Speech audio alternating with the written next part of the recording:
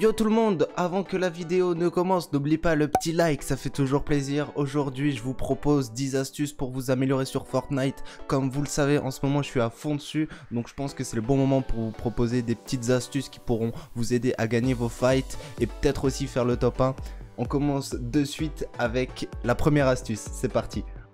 Astuce numéro 1, domine ton ennemi. Comme vous le savez, on peut construire dans Fortnite et les constructions sont hyper importantes donc n'hésitez pas à prendre de la hauteur parce que la hauteur est un facteur à prendre en compte dès que vous engagez un combat.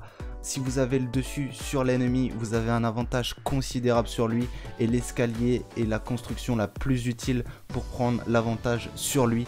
Vous serez à couvert, lui non, vous pouvez le tirer plus facilement. Vous allez voir, c'est vraiment un truc à faire à chaque combat. Astuce numéro 2, le bois, c'est ton meilleur ami. Ici, vous pouvez constater que le bois a 200 points de vie, la pierre a 300 points de vie et le métal a 400 points de vie. Mais quand vous posez le bois, il aura plus de vie à court terme.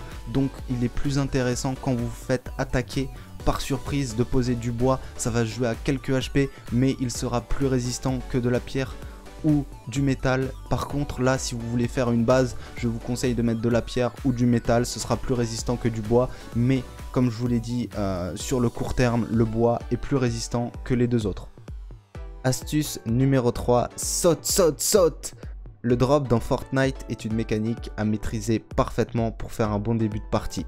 En effet, si vous sautez trop tard, vous risquez de tomber sur un ennemi déjà armé, et là vous allez riper. Donc pour faire un bon drop, vous devez être rapide. Pour cela, il faut sauter avant votre marqueur et piquer le plus possible vers le bas s'il est proche de vous afin de déployer votre parachute le plus vite possible. Ensuite, une fois le parachute déployé, je vous invite à faire des petits straps de gauche à droite pour descendre légèrement plus vite avec le parachute, ça change pas grand chose. Et aussi, très important de regarder autour de vous pour visualiser les ennemis, compter combien ils sont et savoir où ils vont. Ça peut vous donner un avantage tactique sur eux et faire plus de kills en début de game. Astuce numéro 4, la sensibilité de ta souris. En effet, la sensibilité joue un rôle très important dans la précision de tes tirs. Personnellement, je suis un joueur avec une sensibilité très lente. Et plus vous êtes lent, plus vous êtes stable, donc plus précis dans vos tirs. Au début, c'est dur de se faire à une sensibilité très lente. Vous allez voir, vous allez galérer, mais faites-vous la main avec et vous allez voir au fur et à mesure que vous jouez avec une sensibilité lente, vous allez être de plus en plus précis et de plus en plus stable dans vos shots. Après, pour les manettes, je ne sais pas du tout, moi je suis au clavier souris. Astuce numéro 5, Q sec. Les mini potions sont vitales pour jouer des combats. Il vous en faut toujours. Sur vous, c'est super important. Elles sont super pratiques parce qu'elles se consomment très vite et vous donnent la moitié de votre shield. Essayez d'en avoir au moins 4 sur vous. Si vous êtes blessé pendant un combat, n'hésitez pas à vous cacher, faire une petite construction, un petit escalier, un petit mur et vous rebooster avec les mini. Vous allez voir, ça va vous sauver la vie plus d'une fois. Astuce numéro 6, sois rapide pour survivre. Quand un adversaire te prend par surprise et te tire dans le dos, n'est pas pour réflexe de trop tourner et lui tirer dessus. Il t'a déjà en joue, il t'a déjà enlevé du shield ou de la vie, alors c'est pas une bonne idée. Construis plutôt vite un escalier et un mur pour t'abriter et prendre le dessus sur lui. En plus, ça va le déstabiliser. Et à ce moment-là, profites-en pour lui mettre une bonne cartouche.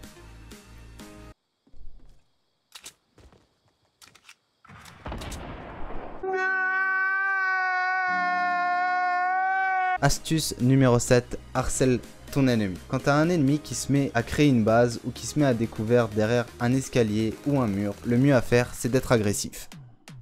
Lui laisse pas le temps de construire, lui laisse pas le temps de prendre le dessus sur toi.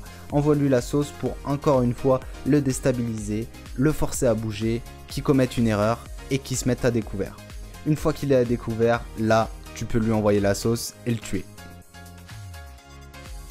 Astuce numéro 8, être organisé. Je te conseille vivement de bien gérer ton inventaire. Crée-toi tes habitudes, le management de l'inventaire est très important pour être efficace sur le terrain.